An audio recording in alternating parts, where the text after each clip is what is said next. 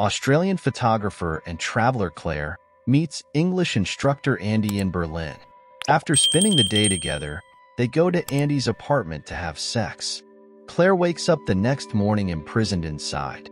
When Andy comes back, he claims he left a key behind, and after they go out dancing, she stays another night.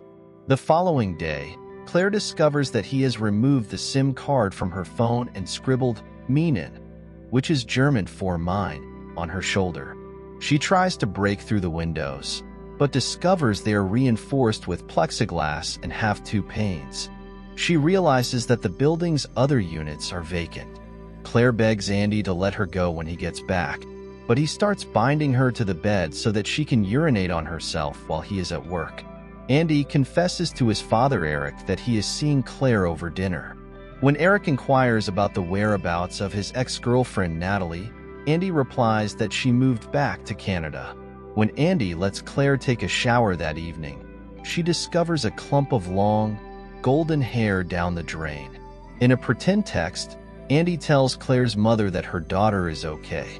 After discovering a screwdriver beneath the couch, Claire stabs Andy in the hand and leaves the flat. Breaking her fingers, Andy catches her in the courtyard downstairs and brings her back inside. Franca, one of Andy's students, arrives and approaches him flirtatiously. However, when she catches a glimpse of Claire, Andy tells her that she is his girlfriend and threatens to report her behavior, which makes her leave. Andy keeps acting strangely, snapping images of Claire in unsettling poses, chopping off chunks of her hair, and hiding away in a locked chamber. After learning of his father's death, he spends a week at his father's house, where he stays depressed and leaves Claire alone in the flat without electricity. She gives him comfort when he gets back, and they have sex. Claire seems to be in a better mood as the holidays get near. She bakes goodies for Andy and picks up the accordion. After giving her his father's dog as a gift, he murders the dog out of jealousy a few days later. For the first time in months, Andy brings Claire outside to a forest where he intends to murder her with an axe. Two small boys interrupt them, one of them with a leg injury. Claire gently asks the other person for assistance, but he doesn't speak English. Andy is at a work party on New Year's Eve when Claire gets into a locked room and discovers albums of pictures of a blonde woman.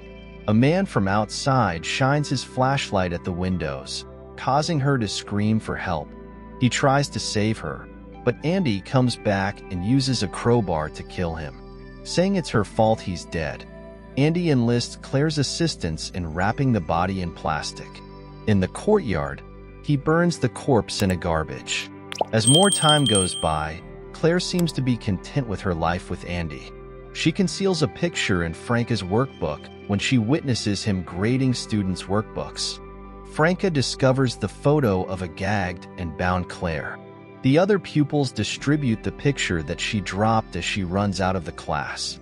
Andy rushes out of the school when he realizes what is going on.